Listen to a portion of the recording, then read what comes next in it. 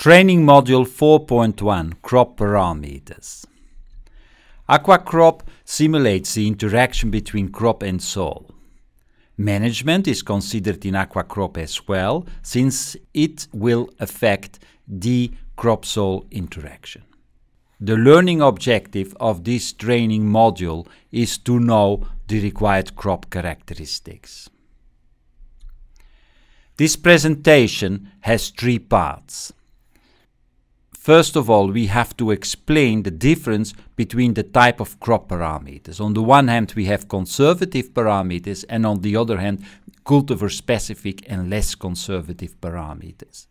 It is the cultivar specific and the less conservative parameters which needs to be calibrated. We call that tuning of the crop parameters. That is explained in part 2. Finally, in part 3, we are going to convert from calendar time into thermal time. Let's first study the type of crop parameters. In the database of AquaCrop, FAO has calibrated and validated a number of crops. When you select a crop file, AquaCrop loads the conservative crop parameters. These are crop parameters which are crop specific, but they do not change with the time, with management, geographical location, climate or cultivars. And these crop parameters, they are valid for all cultivars in, in all environments. So we do not need to calibrate them. Next to the conservative crop parameters, the crop file contains also non-conservative crop parameters. These are parameters which are cultivar specific or which are affected by field management, planting mode, conditions in the soil profile or the climate. These parameters need to be tuned, calibrated to the cultivar or the environment. So when downloading a crop file, we do not need to look at the conservative parameters, it's only the non-conservative crop parameters which need to be tuned.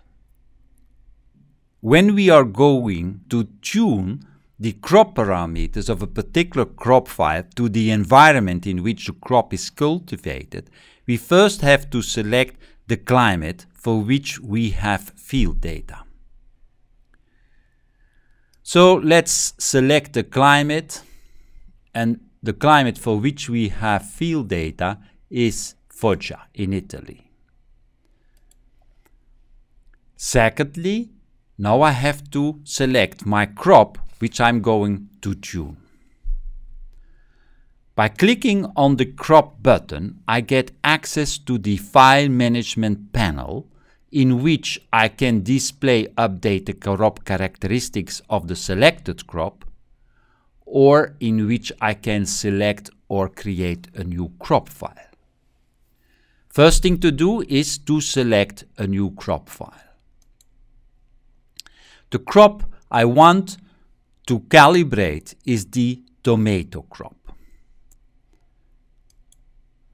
I select it return to the main menu, and AquaCrop asks me now the planting date. It is the planting date for which I have field data which I can use in the calibration. Let's assume it corresponds with the 1st of April for the year 2000. As you can see in the main menu, I have a climate, Foggia, and I have a crop tomato crop which was planted on the 1st of April 2000. To calibrate a crop, I click on crop to get access to the file management panel and now I'm going to update the crop characteristics. That is the requirement to tune your crop to the environment. I click on Update Crop Characteristics and get access to the Crop Characteristics menu. In this menu, the crop parameters are displayed.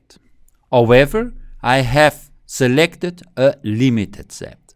These are only the crop parameters which needs to be tuned. The non-conservative and cultivar specific crop parameters.